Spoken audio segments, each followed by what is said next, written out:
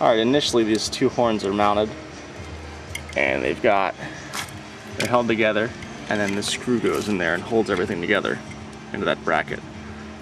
Both both of these horns have two different mounts. This one has a smaller bolt, this one has a larger bolt. So we're just going to take this one, undo that bolt, and then mount the new horn to that, and then mount it vertically like so. Alright, to start with, we took this bracket right here, which had the smaller bolt in it.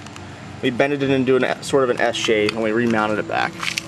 Now that's there, we can use the starter, mount it to that. It'll be a little loose and we could probably get some aluminum at some point and cut that and make a little better of a mount, but this will give us a test.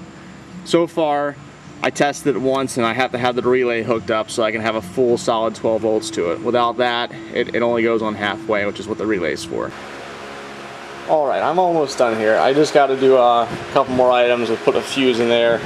Um, there's, a, there's a wire that goes from the battery to the relay. That's your main power wire. Um, that wire should have a fuse in it just in case anything should happen with the relay. It'll um, The hot wire that goes from the battery is here and it goes to uh, number 30 on the relay.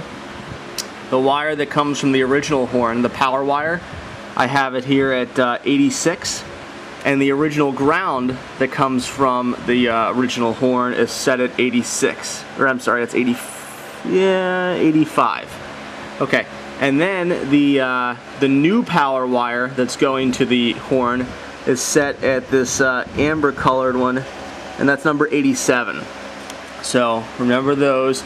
I dremeled out a little bit bigger of a hole here I'm gonna mount it to the other side where the uh, where the uh, air filter is at I don't think it's going to show, but there's another hole over there that I want to mount it similar to where uh, the other hole is there.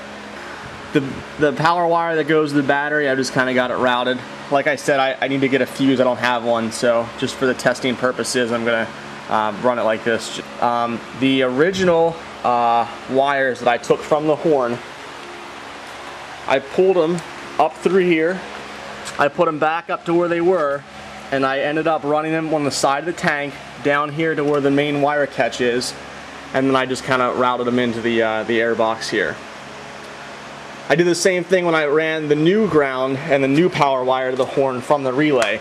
The new power wire to the horn is connected to the relay and the new ground is just connected to where some other grounds are at uh, on my bike which is just right there next to the air filter.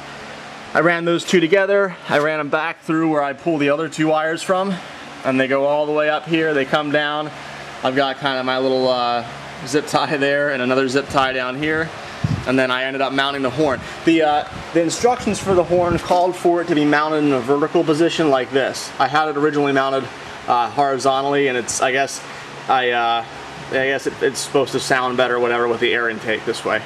So there it is. The, the only real problem I have so far is that my, uh, my mount's a little loose. And like I said it initially, I just need to get a like a, a S-shaped aluminum piece and then that'll hold it solid. I just wanted to show you guys real quick how I mounted the relay again. I just screwed it into the, uh, the mount for one of the air filter I think and I put a little bit of electrical tape around all the connectors in case it ever got a little moist. I tucked all the wires in down there. You can see the power wire which still doesn't have a fuse on it comes right there.